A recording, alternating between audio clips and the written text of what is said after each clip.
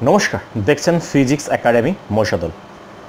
ইতিমধ্যেই মাধ্যমিক শেষ, উচ্চ মাধ্যমিক শেষ হয়েছে। এবার উচ্চ মাধ্যমিক ক্যান্ডিডেটদের শুরু হয়েছে, কি নিয়ে পড়ব সে বিষয়ে চিন্তাভাবনা। তো সেই নিয়ে আজকে আমরা একটা ভিডিও বানাতে চলেছি। আমরা বেশ কয়েকটা ভিডিও ছাড়বো, তিন চারটে। তাতে থাকবে বিভিন্ন কেরিয়ার কাউন্সেলিং গাইড অর্থাৎ কী নিয়ে পড়লে, কোনটা কি করা যায়, এইচএসের পর কী কী পড়া উচিত সেই সব নিয়ে। বেসিক্যালি আমরা এইচএসের পরে বিভিন্ন কম্পিটিটিভ এক্সাম যেমন হচ্ছে নিট জি মেন অ্যাডভান্স ইভেটস জেনপা অনেক এক্সাম আছে, সেগুলো দিয়ে ডাক্তার ইঞ্জিনিয়ার নার্স বিভিন্ন চাকরিতে আমরা যেতে পারি। সরকারি চাকরি অবশ্যই যেতে পারি। সেটা নিয়ে আমরা একটা আলাদা ভিডিও বানাবো, তার সেটা আজকে টপিক নয়।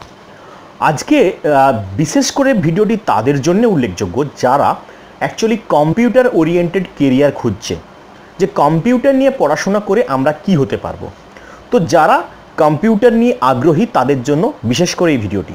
আর যারা আগ্রহী নয়, তারাও অবশ্যই দেখবেন লাইক এবং সাবস্ক্রাইব ডেফিনেটলি করবেন। প্রথমেই বলি, কম্পিউটার নিয়ে অনেক লাইনই আছে, আপনারা যেতে পারেন। প্রথমে বলব এমসিএ বিসিএ বিসিএ এমসিএ করতে পারেন bachelor of computer application MCA master of computer application MCA করলে আপনার চাকরির সম্ভাবনা যথেষ্ট পরিমাণ বেড়ে যায়। ভালো যদি ইনস্টিটিউট থেকে এমসিএ করা যায়, সেখান থেকে প্লেসমেন্ট সেলের দ্বারা আপনি চাকরি পেতে পারেন। এবার এমসিএ বিসিএ করতে গেলে মনে রাখবেন যে একটা আপনার ফিজিক্স কেমিস্ট্রি ম্যাথামেটিক্স এবং বা ফিজিক্স কেমিস্ট্রি কম্পিউটার সায়েন্সের ওপর সিক্সটি পার্সেন্ট নাম্বার থাকা বাঞ্ছনীয়। কোনো কোনো কলেজ ভালো কলেজে চান্স পেতে গেলে সেখানে এন্ট্রান্স এক্সামিনেশন হয় এন্ট্রান্স এক্সামিনেশন দিয়ে প্রবেশ করতে হয়। বিসিএ কমপ্লিট করার পর সেই ইনস্টিটিউট থেকে আপনি এমসিএস করার সুযোগ থাকলে করে নেবেন এবং ওখান থেকে আপনি চাকরির প্লেসমেন্ট পেতে পারেন। এখন যারা বিসিএ এমসিএ করতে পারেন না বা হয়তো চান্স পান না অথবা হয়তো যারা কস্ট বেয়ার করতে পারেন না, খরচটাও অনেকটাই।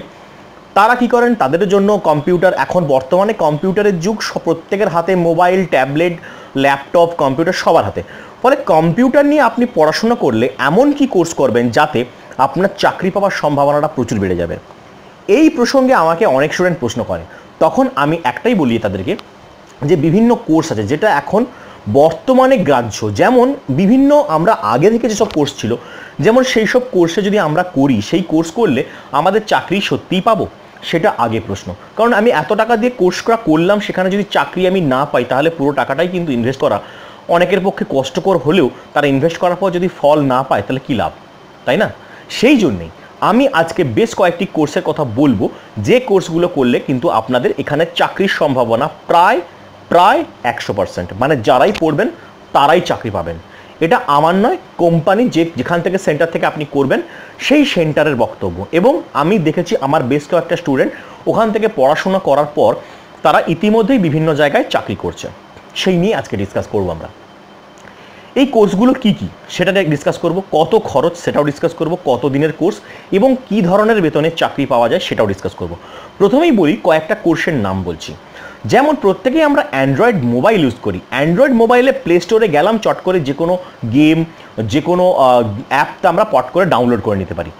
এই যে অ্যাপ ডাউনলোড করছি অ্যাপগুলো বানানোর কোর্স অর্থাৎ mobile app development hybrid mobile app development course বর্তমানে প্রচণ্ড চাহিদা আছে। এবার বলি, এর খরচ কীরকম? এটার খরচ ষাট থেকে আশি হাজার টাকার মধ্যে ভ্যারি করে। এক বছরের কোর্স যদি কোর্সটা কমপ্লিট করেন, তো এখান থেকে আপনারা কোম্পানি আপনাকে বিভিন্ন জায়গায় প্লেসমেন্টের সুযোগ করে দেবে। এবার, যদি আপনি কথায় প্রশ্ন হলো, যদি কোনো কারণে আপনি প্লেসমেন্ট নিতে না চান, তাহলেও নিজে স্বনির্ভর হতে পারেন। কি করে? ধরুন আপনি একটা অফিস স্কুলে বসলেন, সেখানে বিভিন্ন ক্লায়েন্ট এলো, আপনার অ্যাপ বানিয়ে দিন। আপনি অ্যাপ বানানোর পিছনে, প্রত্যেকটা ভালো অ্যাপ বানানোর পিছনে এক একটা অ্যাপ বাবদ আপনি পনেরো থেকে পঁচিশ হাজার টাকা পর্যন্ত নিতে পারেন। এখন বর্তমানে প্রাইস যেটা বাজারে চলছে, একটা ভালো অ্যাপ বানাতে গেলে পনেরো থেকে পঁচিশ হাজার টাকা নেয়। আপনি এটা করতে পারেন। আপনি এটাও করতে পারেন যে জবও করতে পারেন। কোনো কোম্পানি আপনাকে হায়ার করল, আপনি তাদের হয়ে জব করলেন। ডেফিনেটলি এগুলো job oriented hundred percent placement cell এছাড়া ওয়েবসাইট ডেভেলপমেন্ট আপনি জানেন ওয়েবসাইট কাকে বলে? W W W X Y Z dot com এরকম সাপোজ একটা এক্সাম্পল দিলাম আমি। এই ওয়েবসাইটে গিয়ে আমি তথ্য নিচ্ছি। ধরুন আপনার মাধ্যমিকের রেজাল্ট বেরোলো উচ্চ মাধ্যমিক রেজাল্ট বেরোলো। সেখানে আমাদের স্কুল বোর্ডের ওয়েবসাইটে সেখানে গিয়ে রেজাল্ট চেক করি। তেমনই প্রত্যেক কোম্পানি এখন বর্তমানে ওয়েবসাইট বানাচ্ছে নিজের ব্যবসার জন্য। সেই ওয়েবসাইট ডেভেলপ কীভাবে করতে হয় ওয়েবসাইট তৈরি কীভাবে করতে হয়, সেই কোর্সটা যদি আপনি করেন, সেখানেও কিন্তু চাকরির সম্ভাবনা একশো পার্সেন্ট এবার, এই কোর্সগুলো খরচ কীরকম? ওয়েবসাইট ডেভেলপমেন্ট কোর্সেরও খরচ হচ্ছে ষাট থেকে নব্বই হাজারের মধ্যে ভ্যারি করে। দেখে নেবেন যেখান থেকে করছেন, তাদের প্লেসমেন্ট সেল কীরকম, গত কয়েক বছরে কি পরিমাণ প্লেসমেন্ট দিয়েছে, এসব কিন্তু দেখে ভর্তি হবেন। এবার কোথায় ভর্তি হবেন জিজ্ঞাসা করলে, তারও আমরা লাস্ট অ্যাড্রেস কয়েকটা বলব, সেগুলোর মধ্যে থেকে আপনারা নিজেরা যাচাই করে ভর্তি হবেন। এর পরের যে কোর্সটার কথা বলব, সেটা হচ্ছে সফটওয়্যার ইঞ্জিনিয়ারিং সফটওয়্যার ইঞ্জিনিয়ারিং কোর্সটাও কিন্তু এক বছরের কোর্স আনুমানিক খরচ এক লাখ থেকে এক লাখ তিরিশ চল্লিশ হাজার টাকার মধ্যে। এখানে এর মধ্যে কিন্তু এথিক্যাল হ্যাকিং হ্যাকিং নিয়ে যারা ইন্টারেস্টেড তারা কিন্তু এই কোর্সটা অবশ্যই চেষ্টা করবেন। এথিক্যাল হ্যাকিংও শিখবেন, এছাড়াও অনেক কিছু আছে। এবার এই কোর্সটা করলে আপনাদের কিন্তু ডেফিনেটলি হান্ড্রেড পার্সেন্ট প্লেসমেন্ট পাওয়ার সম্ভাবনা বেশি। আমি প্রথম যে তিনটি কোর্সের কথা বললাম, অর্থাৎ mobile app development website development এবং সফটওয়্যার ইঞ্জিনিয়ারিং এই তিনটে কিন্তু এক বছরের কোর্স মনে রাখবেন, উচ্চ মাধ্যমিক পাশ করেই কিন্তু এই তিনটে কোর্সে ভর্তি হওয়া যায়। উচ্চ মাধ্যমিকের পাশ করার পর আপনি ভর্তি হলেন কোর্স কমপ্লিট করলেন, চাকরি পাবেন। কিন্তু একটা কথা বলছি যদি আপনি এইটা কোর্স করতে করতে গ্র্যাজুয়েশন করেন গ্র্যাজুয়েশন করতে করতে এই কোর্সগুলো কমপ্লিট করেন গ্র্যাজুয়েশন করার পর আপনি যদি প্লেসমেন্ট নেন, তাহলে কিন্তু স্যালারিটা যথেষ্ট পরিমাণ বৃদ্ধি পাবে। এইচএস পাস ক্যান্ডিডেটদের জন্য আমি বলতে পারি আট থেকে পনেরো হাজার টাকার মধ্যে স্যালারি থাকে।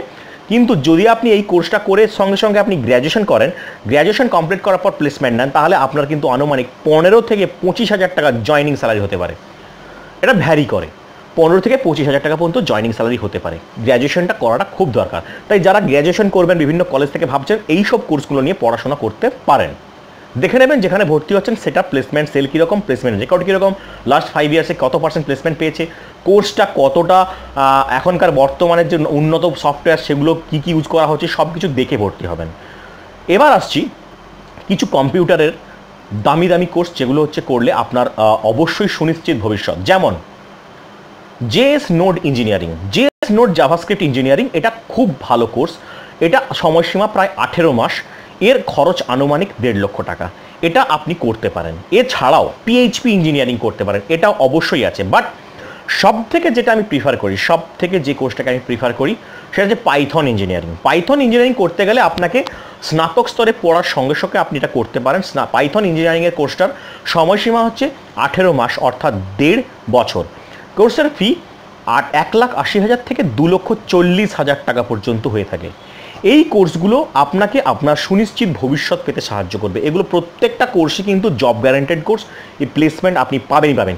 বর্তমানে আপনি যদি যাচাই করে দেখেন, দেখবেন যে পাইথন ইঞ্জিনিয়ারিং বর্তমানে কি পরিমাণ ডিমান্ড একটা পাইথন ইঞ্জিনিয়ারিংয়ের স্যালারি কত হয়?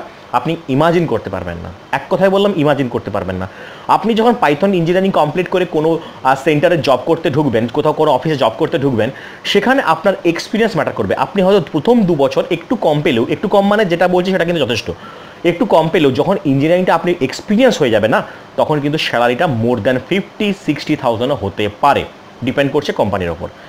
এই সমস্ত কোর্সগুলো কিন্তু গ্র্যাজুয়েশন যারা সিম্পল গ্র্যাজুয়েশন করবেন ফিজিক্স কেমিস্ট্রি ম্যাথ বায়োলজি ইতিহাস, ভূগোল যে কোনো আর্টস বা সায়েন্স ম্যাটার করে না বাট সায়েন্স হলে অ্যাডভান্টেজ আর্টস হলেও কোনো অসুবিধা নেই।